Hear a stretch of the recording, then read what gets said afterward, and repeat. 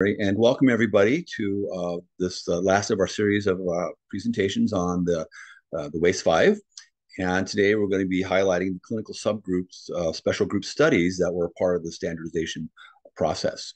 So just uh, as we dive into this, a quick overview. Hold on a sec here. It's not advancing. Uh-oh. Hold on. Sorry. Okay. Let's see if it advances. Uh oh, it's not advancing. Uh, there we go. Okay, that took longer than I thought. Sorry, folks. So, just a real quick update. Some of the new new um, features of the WAIS-5 is uh, obviously we wanted to make sure that we hit uh, updated norms that are uh, aligned with uh, the contemporary census of the day. Uh, we also have uh, had the goal of reduced administration time, which is typically when we restandardize our tools, that's one of the, the top pieces of feedback that we get. that time constraints are always a critical factor, and so we, we really strove for that. we also have a new test structure that is aligned with the other Wechsler products of with C and the WISC. And we also added a series of new subtests. And um, as and today, as I noted, we'll be talking about some of the special group studies that were incorporated into our uh, our norming process. Uh, and then we also wanted to make uh, the uh, expand the WAIS so that it has broader clinical utility for the kind of work that uh, we do in our field and an overall improved user experience which encompasses a, a number of factors including time applicability to the clinical uh, uh, the world that we operate in, and another a number of other features. And these will all also be highlighted in the manual um, once the test publishes. Uh, so typically, uh, you know, I think the prior WAIS uh, the administration time was approximately 60 minutes. Uh, as you can see, we've uh, we achieved one of our top goals, which was to be able to keep it uh, uh, under an hour. So 45 minutes to attain the full scale IQ, uh, which requires the um, minimum of seven subtests, but 60 minutes to obtain all five primary index scales, which does require the full 10 subtests. So in this slide, uh, this is just an overview of now the new five factor structure. And as you can see, we um, had uh, broken apart the perceptual reasoning um, or disaggregated the components of perceptual reasoning to, to align it uh, with the uh, the current structures of the, of the WPPSI and the WISC uh, to include a, a visual spatial um, indice and then also a fluid reasoning indice. Uh, we still have maintained the verbal comprehension, working memory, processing speed. And as you can see, as I mentioned earlier, is that you can also obtain a full scale IQ using the seven primary uh, subtests that are highlighted in blue. Uh, one caveat is there's only uh, several, several caveats that rather is that only one substitution is permitted when deriving the full scale IQ, which is a change from some of the earlier versions, which I think it allowed up to. Um, and the other um, important piece of information that is unique to the WAIS-5 is that when you are administering the uh, seven subtests and the 10 um, subtest uh, uh, scales in order to get the full scale IQ, uh, digit forward must be administered even though you may not be using it in the indice or in the sub in the uh, full scale IQ. And the reason for that is it was it was administered during during standardization. While it may not be required for the full scale IQ, it is required to be administered uh, because it was done so during standardization procedure. So that way, as the examiner, you are being consistent with the protocol of the uh, data collection when the test was developed. So that will also be articulated in the manual, but I wanted to, to call that out here as well. And so, as you can see, then under those five uh, subtests, excuse me, indices uh, uh, of verbal comprehension, visual, spatial, fluid reasoning, and working memory, that each has um, two of the, the, the, core subtests that will provide the context of those in indexes. So for verbal comprehension, you will have similarity in vocabulary, visual spatial will be block design, um, and visual puzzles. And then fluid reasoning is made of, comprised of matrix reasoning, figure weights.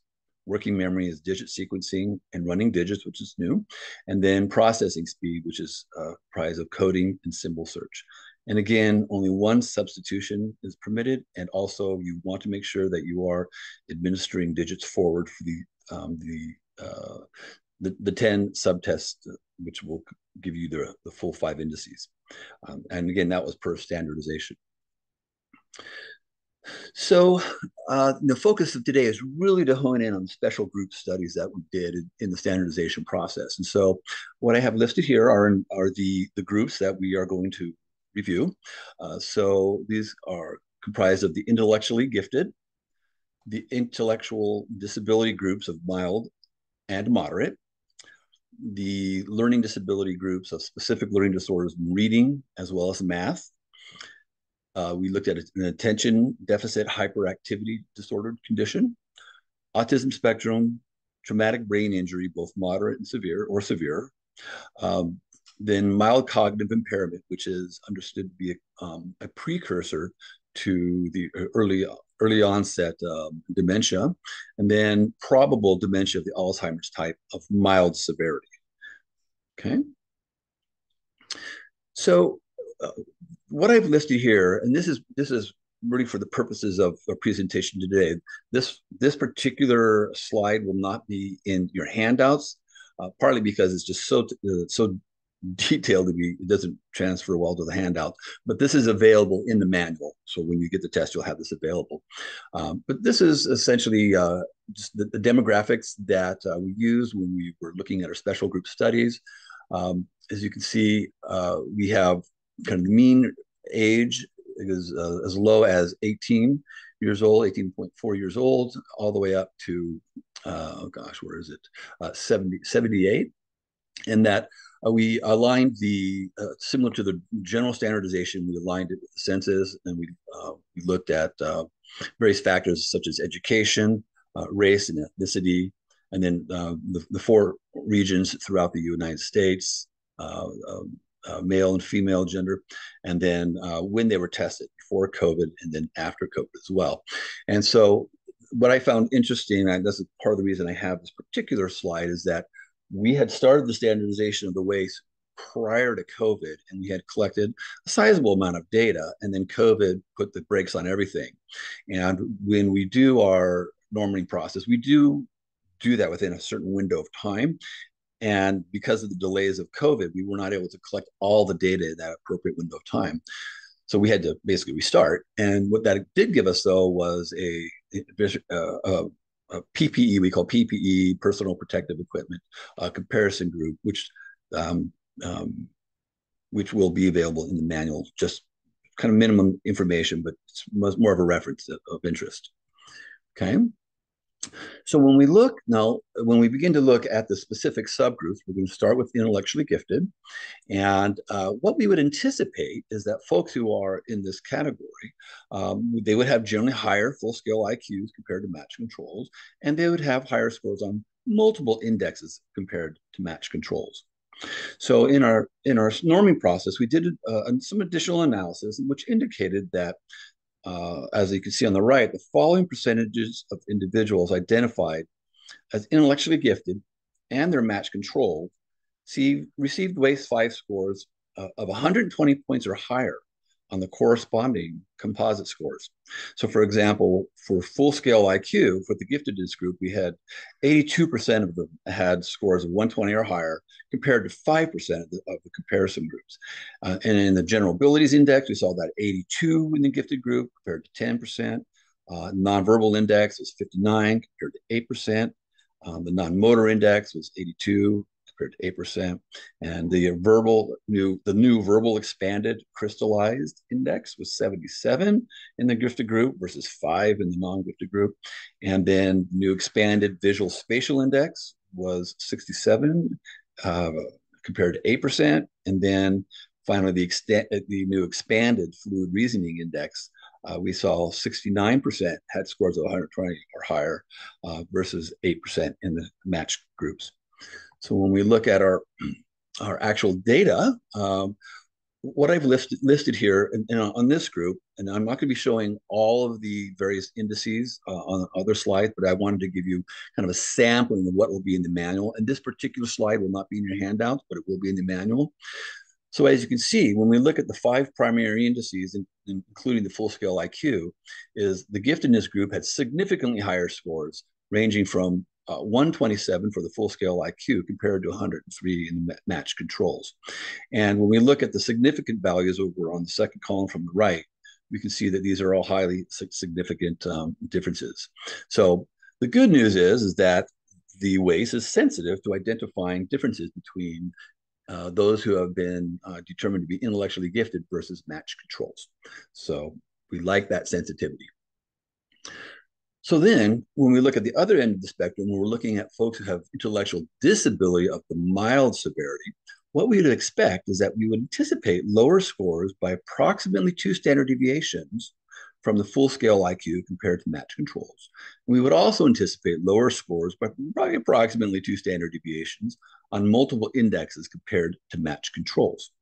So in our addition, in our follow-up analyses, the following percentages are what we found was that, um, excuse me, uh, when we looked at the, the, dis the mild disability group compared to match controls, is that uh, they received WAIS 5 scores of 75 points or lower. So this is the, the mild um, impaired group at 75 points or lower um, on the corresponding composite scores. We saw that uh, of that group, 89% had scores 75 or lower compared to 9% match controls. And on the nonverbal index, we saw 87% compared to 5%. And in the non-motor index, we saw 91 to 7%. And when we actually look at the numbers, we see, and remember, I'm not going to show all the indices, but I just wanted to give you a sample of the primary ones. All the data will be available in the manual. Uh, we do see that indeed that did pan out with the, the intellectual disability mild impairment group. Remember, the threshold was 75 or lower. We see them in the 60s range. And again, uh, compared to match controls, we had a high level of significance uh, from this group. As we move on to the intellectual disability moderate severity group, we would again expect that they would have approximately have three standard deviations uh, um, compared to full uh, in their full scale IQ compared to match controls, um, and then lower scores by approximately three standard deviations across multiple indexes. And so the percentage of individuals that were diagnosed with intellectual disability moderate severity and their match controls received scores of 60 points or lower on, on, on the same composites. So the full scale IQ, we saw 75% of them had scores of 60, um, 60 or lower, okay? Uh, whereas we didn't see any of that in match controls. And we saw the same for the nonverbal index and the non-motor index as well. So this indicates not only is it WAIS sensitive to differentiate between these groups, but it's also sensitive within groups of disability uh, to help you determine kind of the level of impairment that they may be experiencing. And so again, this is a representation of those uh, uh, means for the, the, moderate disability group compared to match controls. And again, when we look at the p-values, you see a high level of significant differences. Moving along, uh, so the um, uh, one of the historically one of the primary uses of uh, the Wechsler products, particularly the WISC, but also now you know, also the WAIS for the kind of the older um, teenagers and young adults uh, and college folks is really identifying if they have uh, learning disabilities. And so when we look at the specific learning disorder of reading compared to match controls, what we would expect is this idea of you know, learning disabilities, unlike the um, intellectual disabilities, where you have maybe global deficits, we would anticipate that we'd have some areas of deficits, but other areas of typical typicality. So uh, I like the phrase: "It's seen uh, specific learning disabilities are best understood as an island of weakness in a sea of strength." So we would, we would anticipate is variance in scores across some indexes, but not all of them but we often will, would anticipate lower scores on verbal comprehension because it's a reading, right? Working memory, processing speed, and then full scale IQ compared to match controls. So when we look at the uh, cognitive proficiency index, the mean score has the highest or the largest effect size of any of the indexes, okay? Uh, followed by the auditory working memory index, um, the registration um, side of that, and then the processing speed index.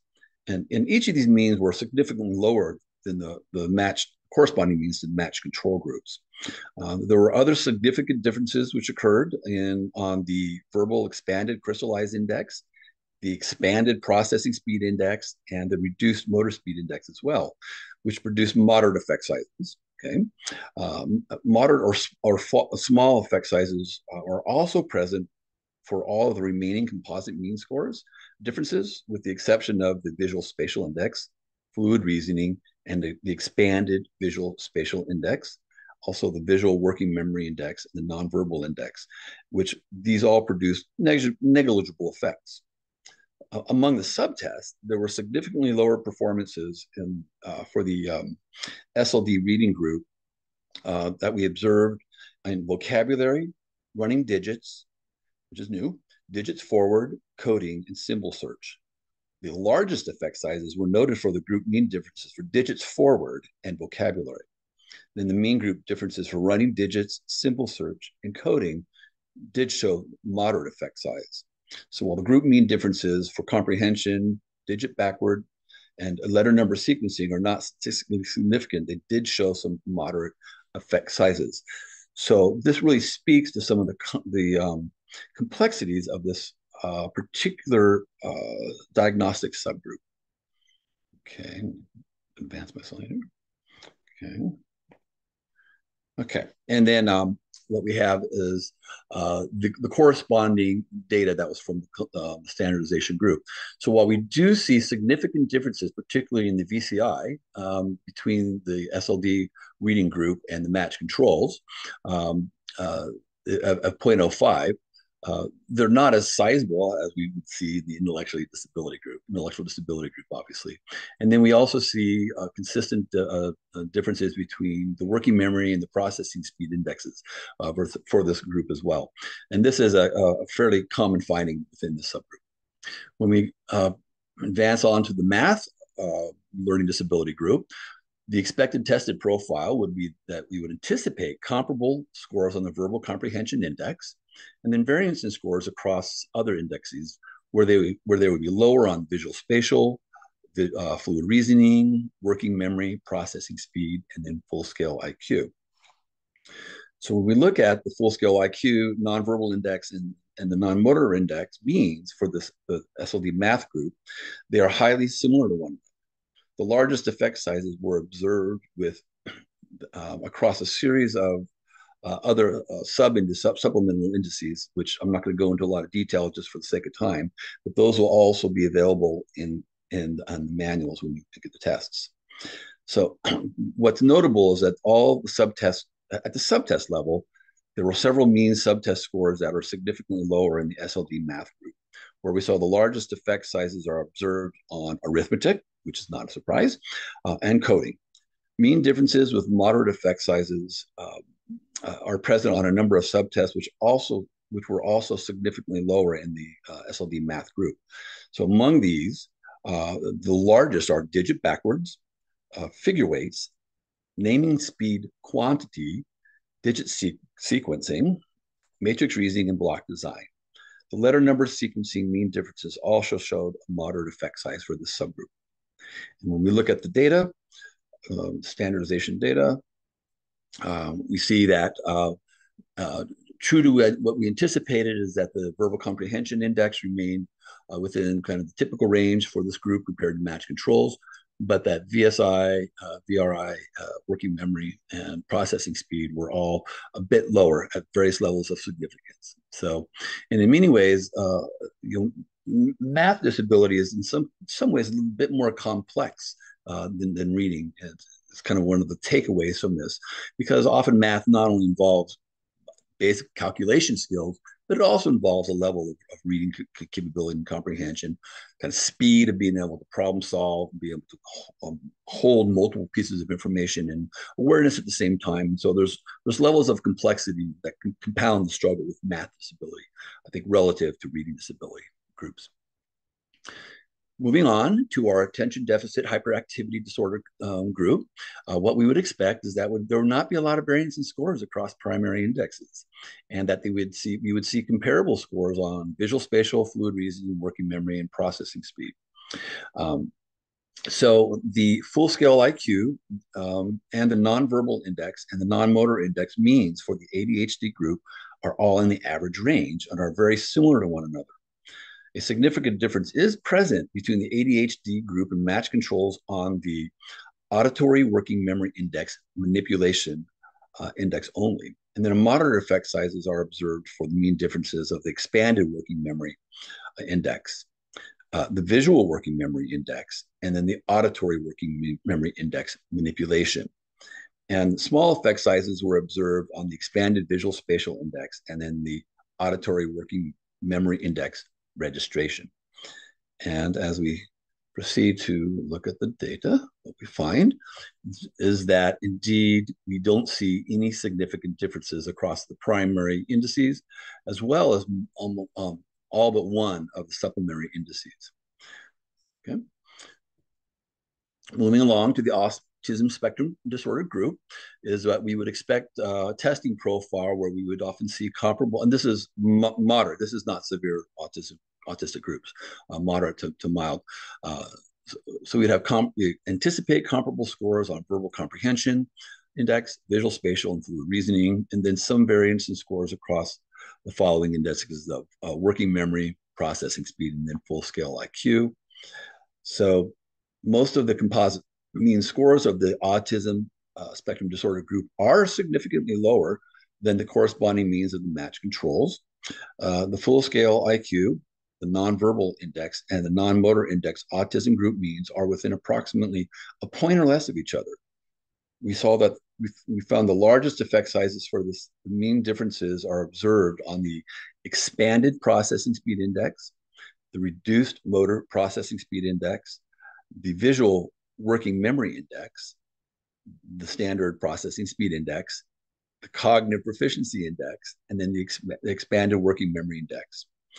We saw moderate effect sizes uh, were present for the mean differences of the working memory index, full scale IQ, verbal expanded crystallized index, verbal reasoning index, expanded visual spatial index, expanded fluid index, quantitative reasoning index, and auditory working memory manipulation, the nonverbal index, and the non-motor index. So all these results collectively uh, replicate previous research indicating weak processing speed and working memory performance among autism spectrum disorder groups.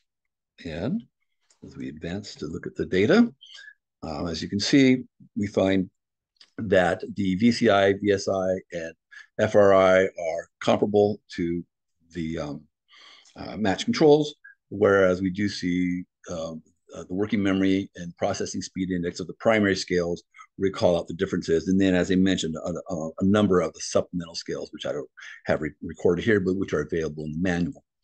When we look at the traumatic brain injury group, uh, what we would expect to see is lower scores by approximately one standard deviation on full scale IQ compared to match controls, and then lower scores by approximately one standard deviation on multiple indexes compared to match controls. So the uh, what we found was that the group mean differences are significant for almost all the composite scores uh, with this group compared to match controls, where we found the largest effect sizes for the group mean differences are pre uh, present for the expanded working memory index, the reduced motor processing speed index, the auditory working memory index, the expanded processing speed index, the cognitive proficiency index, and then working memory index. Uh, the uh, traumatic brain uh, injury group means for the full scale uh, and the nonverbal index and the non-motor index are within a few points of each other. So they hover next to each, close to each other. Uh, there were significant differences though, which all show large effect sizes that were observed between the group means of all the ancillary index scores, which will, uh, will which will be in the manual, and then the full scale IQ. At the subtest level, the largest effect sizes for the TBI group are observed on letter number sequencing, naming speed quantity, spatial addition, and digit digit sequencing, and then running digits. And I have the data represented here. And again, uh, as you can see, we have uh, sizable differences between the means of the group across the primary indexes and the match controls. So uh, again, demonstrating the uh, sensitivity of the WAIS uh, five uh, and uh, calling out those differences. And then the final two groups, the first of mild cognitive impairment, uh, what we would expect is that there would be comparable scores on verbal comprehension, visual, spatial, fluid reasoning, and working memory indexes. and then some variance in scores across uh, processing speed index and then full scale IQ. Uh, processing speed is often uh, considered one of those early indicators that be, uh, begins to demonstrate some compromised um, functioning. So with the MCI group, uh, we did look at college educated individuals uh, in larger proportions uh, than in the normative, the broader normative sample. The mean composite scores for this group are in the average range. Uh, the group means for the full scale IQ, nonverbal index, non and non-motor index are almost identical. Several composite mean scores for this group were significantly lower than the match control. Among the moderate effect sizes, the largest were with the auditory working memory index manipulation, the nonverbal index, the full scale IQ, the visual working memory index, and then the expanded working memory index as well. Um, also, the cognitive proficiency index, and then the general processing speed index. Uh, the mean differences were significantly um, statistical, excuse me, statistically significant uh, for a number of subtests that tap working memory, reasoning, and processing speed. At the subtest level, a large effect size was present for symbol span, and then a moderate effect size was observed for similarities, matrix reasoning, digit sequencing, letter number sequencing, coding, and symbol search. okay, that's this. And so, uh, as you can see, uh, the the uh, the canary in the coal mine for the MCI group, mild cognitive impairment, uh, will be in the processing speed realm for primary index, but then I noted a number of the supplemental indexes, which aren't recorded here, but are in the manual, as well as some of those other subtests. And then finally, dementia of the Alzheimer's type compared to the match controls is uh, we would anticipate lower scores by approximately one standard deviation on all the multiple multiple primary indexes compared to match controls, uh, full scale IQ, uh, the um, AVSI and WMI compared to match controls as well. So when we look at this group, there are we did see significantly lower uh, scores than the corresponding means with their match controls, um, with the exception of auditory working memory uh, registration. The Alzheimer's group means for uh, for the full scale IQ, the nonverbal index, the non-motor, and the non-motor index are all within a few points of one another. Almost all effect sizes for the mean composite scores were different or large, with the largest effect sizes noted on the expanded visual spatial index, the visual working memory index, the non-motor, excuse me, the non-verbal index, and the processing speed index, the visual spatial index, the verbal reasoning index, the expanded and the expanded fluid reasoning index. At the subtest level, the Alzheimer's group scored significantly lower than the match controls on most subtests, where we saw the largest effect sizes for the mean scaled scores.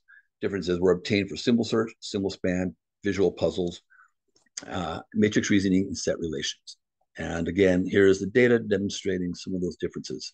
Um, all right, that was a quick quick overview of some of the clinical groups. The uh, at the end of the day, we find that there's sensitivity to being able to identify differences between these these uh, comparison groups. Thank you. Questions? Yeah, great, Pat. I know we just have one minute left, so I'll, I'll throw in one quick question and then we'll we'll wrap up here. But the most common question I think I got was, uh, can they run the discrepancy analysis with the WAIS and the WIAT? Yes. Um, and will that be available for customers? Yes, that was not available in the prior version, but for those who are doing um, disability, excuse me, learning disability evaluations in reading, writing, math, that uh, that was uh, it, it's a feature of the of the WAIS WIAT uh, relationship that you can do a pattern to strengths and weaknesses analysis, uh, as well as a kind of the standard discrepancy analysis, whichever, whichever approach you're, you're using. So that is uh, now an added in feature, which is very good. So great. All right. I know we are out of time. Um, so I want to just thank you, Pat, for sharing all this information. I think people were really interested in all this data that you had to share. Thank you, everyone, for attending today and for your interest in the WAIS 5 and for sticking with us through this, this series of webinars.